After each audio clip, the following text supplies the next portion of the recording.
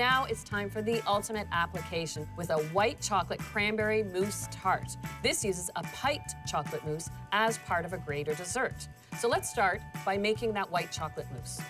I've got eight ounces of white chocolate here. And white chocolate is the most delicate in the chocolate family. To this, I'm going to add two tablespoons of butter. By weight, that's an ounce.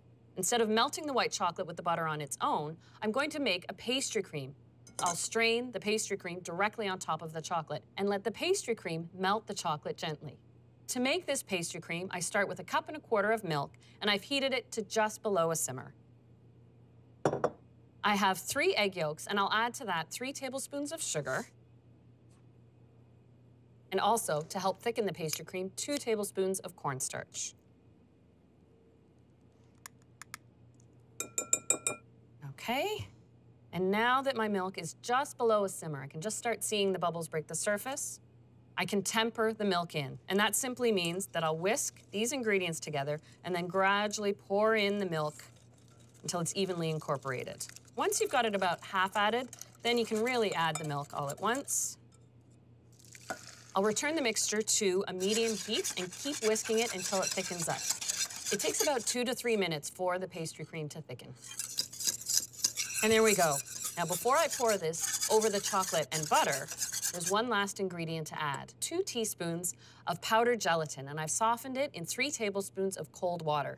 As you add the gelatin, you'll see the texture of the pastry cream change. It'll actually become quite fluid. That is to be expected.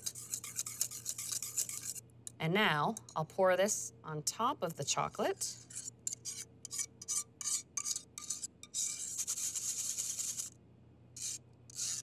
And I'll stir gently, just letting the heat of this pastry cream melt the chocolate. So you can see this is beautifully satiny and smooth. While that cools a little bit, I can start on the crust for the tart.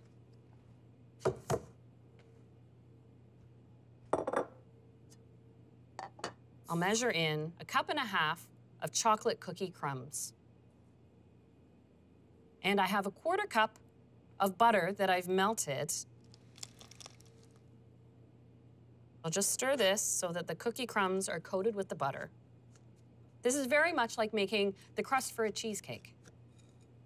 And the perfect pan for this tart is a nine inch removable bottom pan. Makes the tart easy to take out, and it's ungreased. Pour the crust into here and press it along the bottom and up the sides. When pressing a crumb crust into a shell, I like to press it up the sides first and then flatten the bottom. The crust has to bake now for 10 minutes in a 350 oven that I've preheated. While the tart crust bakes, I can make the cranberry compote. Quite simply, I start with two cups of fresh cranberries. You can also use frozen. Cranberries are loaded with natural pectin that sets up the compote, kind of the way jelly sets. So it does actually take a half a cup of water to achieve the right consistency of compote. I'll start this simmering and add two thirds of a cup of sugar.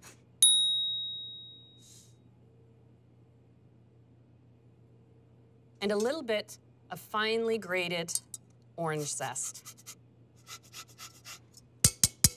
It takes about 20 minutes for this compote to cook.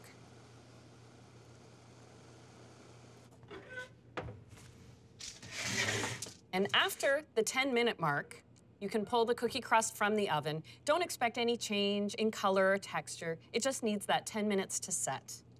And just a little more time to cool, but that's perfect because I need 10 more minutes on my cranberry compote to make sure all these cranberries pop. You can see how much the compote has thickened. To finish it off, I like to add a splash of vanilla, about a teaspoon. And entirely optional, I'll add two tablespoons of brandy. I don't add the brandy or vanilla at the beginning. It would simply evaporate off and you'd have no flavor left. And you want to cool down to room temperature the cranberry compote, then chill it completely before you assemble the tart.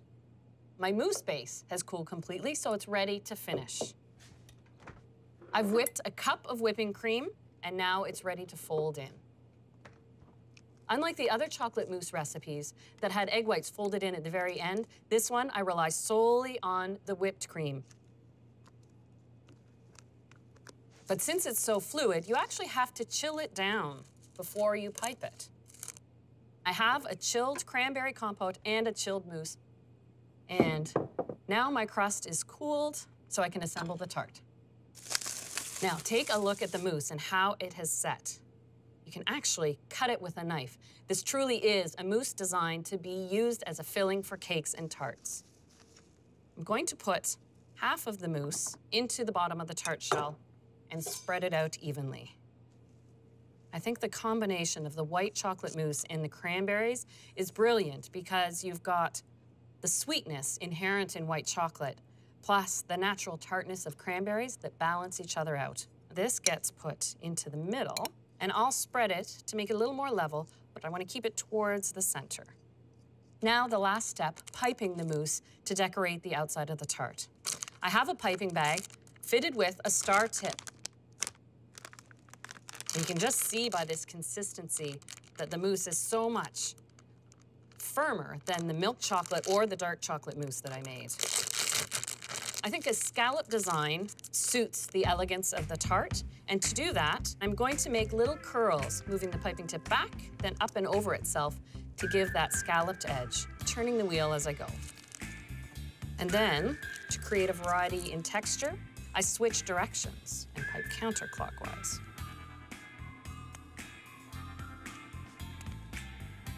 And there we go. The tart is complete. What a showstopper. Now you do have to let this set. Give it at least an hour in the fridge before you slice it and serve it. I have a tart that's already chilled. See how easily it pops out of the pan? And then just take your offset spatula, loosen that lower crust, slide the bottom part of the pan out. And now you have a tart that is ready to serve. What a beautiful use for mousse.